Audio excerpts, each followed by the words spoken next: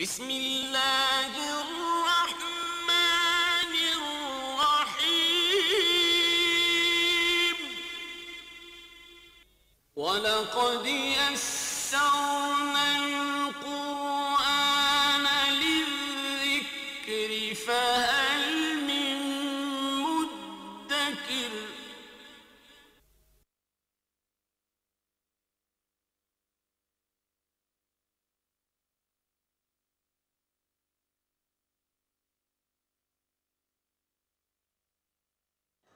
الحمد لله وكفى والصلاة والسلام على عباده الذين اصطفى. خصوصا على أفضلهم وخاتم النبيين محمد الأمين وعلى آله وصحبه أجمعين. أما بعد فأعوذ بالله من الشيطان الرجيم. بسم الله الرحمن الرحيم. ألف لام را تلك آيات الكتاب المبين. إنا أنزلناه قرآنا عربيا لعلكم تعقلون نحن نقص عليك أحسن القصص بما أوحينا إليك هذا القرآن وإن كنت من قبله لمن الغافلين صدق الله العظيم. رب اشرح لي صدري ويسر لي أمري واحلل عقدة من لساني يفقهوا قولي. اللهم ألهمني رشدي وأعذني من شرور نفسي. اللهم أرنا الحق حقا وارزقنا اتباعه، وأرنا الباطل باطلا وارزقنا اجتنابه. اللهم رب زدني علما. آمين يا رب العالمين. سورہ یونس اور ہود کے بعد یہ تیسری صورت ہے، سورہ یوسف، یہ بھی مکی ہے۔ اور یہ جو سلسلہ ہے صورتوں کا، میں نے عرض کیا تھا کہ اب چودہ صورتیں مکیات ہیں، مسلسل۔ ان میں کچھ ہم دیکھتے ہیں کہ تین تین صورتوں کا ایک گروپ سا بنتا ہے۔ جو ہم وزن ہے حجم کے اعتبار سے۔ جیسے کہ سورہ یونس کے گیارہ رکو تھے، سورہ ہود کے دس رکو اور اس سورہ مبارکہ کی سورہ یوسف کے بارہ رکو تقریباً ہم وزن ہیں حجم میں۔ پھر تین صورتوں کا ایک گروپ آئے گا۔ سورہ رات سورہ ابراہیم، سورہ حجر۔ چھ رکو چھ رکو سات رکو تو وہ حجم میں ان کی ایک مناسبت ہے، مشابہت ہے۔ تو یہ گروپنگ ہے قرآن مجید میں۔ اس سے پہلے ہم نے دیکھا تھا سورہ آل عمران اور سورہ بقرہ، وہ ایک گروپ تھا۔ سورہ نساء اور سورہ معدہ ان کا جوڑا بنتا ہے۔ پھر اسی طریقے سے دو دو مکی صورتیں آئیں۔ انعام اور الاعراف، وہ بھی ایک جوڑے کی شکل میں ہے پھر دو صورتیں مدنی آئیں، الانفال اور توبہ، وہ بھی ایک پیر کی شکل میں تھا۔ اسی طریقے سے ہم نے اب جو پڑھی ہیں، یہ تین صورتیں، دو پڑھ چکے ہیں اور تیسری آج پڑھیں گے انشاءاللہ۔ ان کا ایک گروپ۔ ہے سورہ ہود میں انباء الرسل، یہ ٹرم استعمال ہوئی ہے رسولوں کے حالات یعنی رسولوں کی قوموں پر جو حالات آئے اور جو اللہ کی طرف سے بالآخر عذاب ہلاکت آیا، ان تمام قوموں پر جن کا ذکر ہم نے پڑھا ہے۔ جبکہ اس کے اندر قصص النبیین والی بات ہے سورہ یوسف میں۔ انبیاء کے قصے، نبیوں کے حالات و واقعات، بہت سی صورتوں میں آئے ہیں، اس میں ایک سورہ انبیاء بھی ہے، سترویں پارے میں۔ یہ صورت اس اعتبار سے بڑی منفرد ہے کہ تقریباً پوری صورت ایک ہی نبی کے واقعے پر مشتمل حضرت یوسف علیہ السلام، اگرچہ ضمن حضرت یعقوب کا ذکر بھی آئے گا، اس لیے کہ وہ ان کے والد ہیں۔ اور یہ جو پورا قصہ ہے، جسے قرآن کہتا ہے، احسن القصص، بہترین قصہ بیان کرنا، خود قرآن نے اسی قرار دیا۔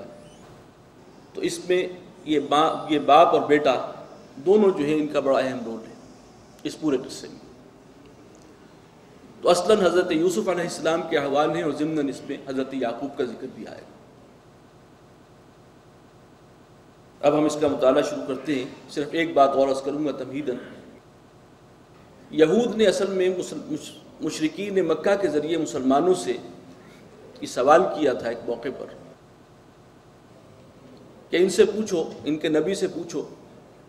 کہ بنی اسرائیل فلسطین میں آباد تھے، شام میں آباد تھے، وہ مصر کیسے جا پہنچے؟ وہ جو فرعون کی غلامی میں رہے اور پھر وہاں سے حضرت موسیٰ نے انہیں نجات دلائی بعد میں۔ تو یہ کیا حالات ہوئے تھے؟ کیا سبب بنا تھا کہ وہ شام سے جو ہے وہ جا کر مصر آباد ہو گئے؟ تو یہ ایک اہم تاریخی سوال تھا اور گویا اس کا بھی جواب پورا موجود ہے کہ کیا حالات ہوئے تھے، کیسے ہوئے تھے؟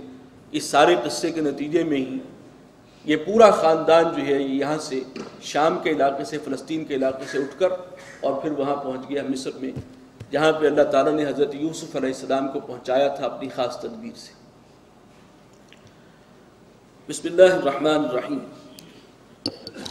الف لام را، یہ حروف مقطعات ہیں۔ تل کے آیات الکتاب المبین۔ یہ آیات ہیں ایک واضح کتاب کی، ایک روشن کتاب کی۔ انا انزلناہ قرآن عربیہ ہم نے اس قرآن کو ہم نے اسے عربی قرآن بنا کر نازل فرمایا ہے۔ لعلکم تعقلون، تاکہ تم اسے سمجھ سکو۔ قرآن اصل میں اللہ کا کلام ہے۔ جو اصل قرآن ہے، وہ لوح محفوظ میں ہے۔ فی کتاب مکنون۔ اللہ کی اپنی زبان کیا ہے، وہ وہیں پر معلوم ہوگا۔ لیکن اسے عربی زبان کے قالب میں ڈھال کر نازل کیا حضور صلی اللہ علیہ وسلم پر۔ اس لیے کہ اہل عرب اس کے اولین مخاطبین تھے۔ لعلکم تعقلون، تاکہ تم اس کو سمجھ سکو۔ نحن نقص علیک احسن القصص۔ ہم سناتے ہیں تمہیں بہترین سنانا، بہترین سرگزشت۔ بما اوحینا الیک هذا القرآن۔ اس قرآن کی بدولت کے جو ہم نے اے نبی آپ کی طرف وہی کیا ہے۔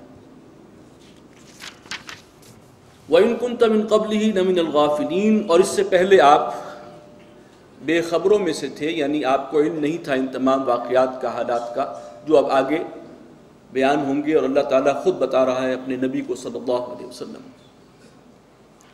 اس قال یوسف البی جب کہا یوسف نے اپنے باپ سے، یا ابت انی رأیت احد عشر کوکبا ابا جان، میں نے خواب میں دیکھا ہے گیارہ ستاروں کو والشمس والقمر رأیتهم لی ساجدین اور سورج اور چاند کو بھی دیکھا ہے۔ اور میں نے دیکھا کہ وہ سب مجھے سجدہ کر رہے تھے۔ حضرت یوسف علیہ السلام نے یہ خواب بالکل بچپن میں دیکھا، نو عمری میں دیکھا۔ اور اپنے باپ سے، حضرت یعقوب علیہ السلام سے۔ انہوں نے ذکر کیا اس لیے کہ بہت ہی انوکھا، غیر معمولی خواب تھا۔ تو تذکرہ کیا انہوں نے۔ قال، یا بنی، لا تقصص رؤیاک علی اخوتک حضرت یعقوب نے فرمایا کہ اے میرے بیٹے، اپنے اس خواب کو اپنے بھائیوں کے سامنے بیان نہ کرنا۔ فیقیدوا لک قیدا تو وہ تمہارے خلاف کسی سازش میں لگ جائیں گے۔ ان شیطان للانسان عدو مبین۔ بے شک شیطان جو ہے انسان کا کھلا کھلا دشمن ہے اور وہ ایسے مواقع سے فائدہ اٹھاتا ہے۔ اب یہاں معلوم ہو رہا ہے بین السطور سے کہ کوئی بھائی ہیں، وہ بڑے ہیں اور جو تفصیلات آتی ہیں روایات میں حضرت یعقوب کے بارہ بیٹے تھے، دس بیٹے بڑی بیوی سے ہیں اور وہ جس وقت حضرت یوسف کی خواب دیکھ رہے ہیں تو وہ جوان ہیں تن و مند ہیں۔ اور دو بیٹے جو ہیں وہ دوسری بیوی سے تھے۔ ایک حضرت یوسف اور دوسرے بنیامین۔ یہ دونوں چھوٹے تھے۔ ان دونوں سے والد کو زیادہ پیار تھا اور خاص طور پر حضرت یوسف سے۔ کیونکہ وہ نبی تھے، انہوں نے دیکھ لیا تھا کہ اس بچے میں وہ علامتیں ہیں جو اس کے اندر رشد و ہدایت اور اللہ کی طرف سے جو کمالات ہیں، اس کی علامتیں وہ دیکھ رہے تھے۔